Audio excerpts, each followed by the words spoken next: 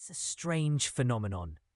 You drop a tiny bit of sugar, and suddenly, out of nowhere, ants appear, marching in perfect lines to claim their prize. But why does this happen? How do ants know there's sugar around, even before you notice?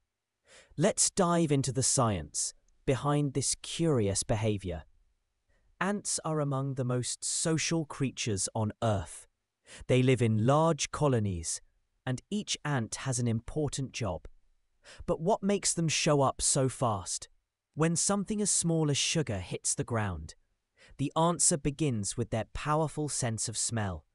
Those tiny antennas? They're not just for touch, they're packed with sensors, able to detect even the faintest trace of scent. And yes, that includes sugar. Once an ant detects it, the signal spreads quickly to others. The colony gets the message. Ants communicate using special chemical signals called pheromones. When one scout ant finds food, like sugar, it leaves a pheromone trail on the ground, marking the path back to the colony. Other ants pick up on that trail and follow it, leaving their own pheromones behind. In just minutes, what started as a tiny sugar grain becomes a busy gathering spot, crawling with ants. It's teamwork at its finest, a natural system built for survival.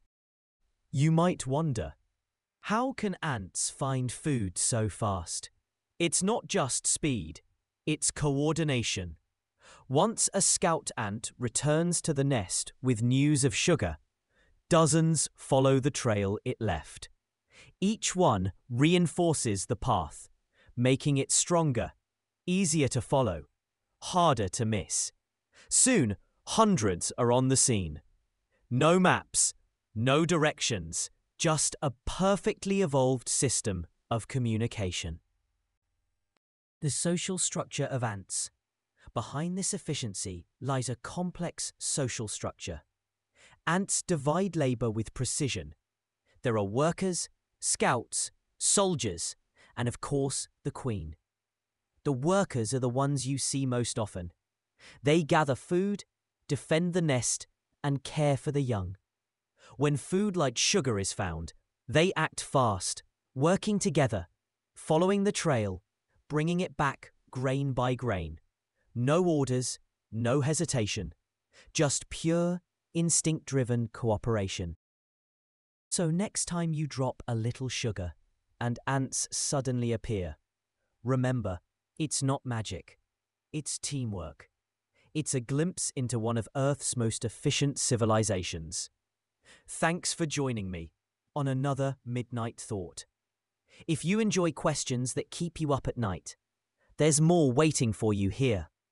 Subscribe and I'll meet you again, same time, same silence.